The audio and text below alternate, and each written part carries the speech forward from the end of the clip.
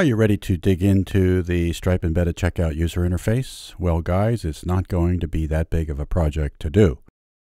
Mostly we need to understand what is already done for us by Stripe. This involves a single line of HTML that lets Stripe handle most of your checkout work. It renders a checkout form that handles all the payment authorization steps.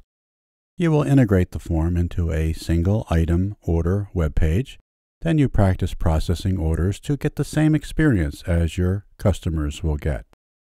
To do this, you learn how to test the checkout process on your website using testing data.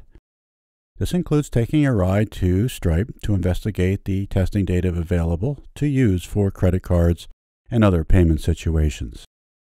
We also learn about the Stripe tokens. Stripe tokens free you from handling the secure banking data of your customers both you and customers will be very happy about that.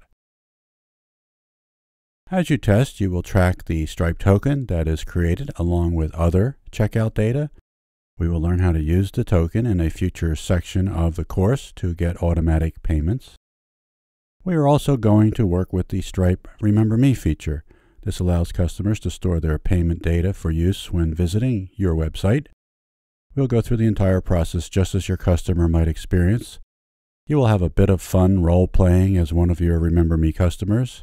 This includes tracking the Remember Me text messages on your own phone sent during the process.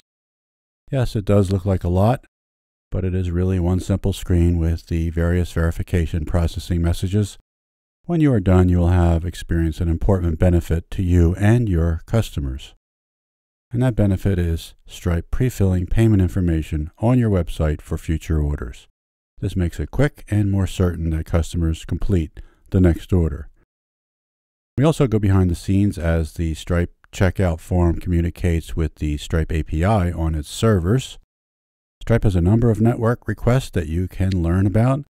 They have interesting response data that we will explore using the web browser tools. We will also investigate what Stripe downloads to your page, for example, HTML elements and form assets such as credit card images. Finally, we go on an outing to locate transaction data in the Stripe dashboard logs. Stripe logs a transaction when your customer completes a checkout form on your website. Well, that's it. You can get ready to go. See you then for the first session.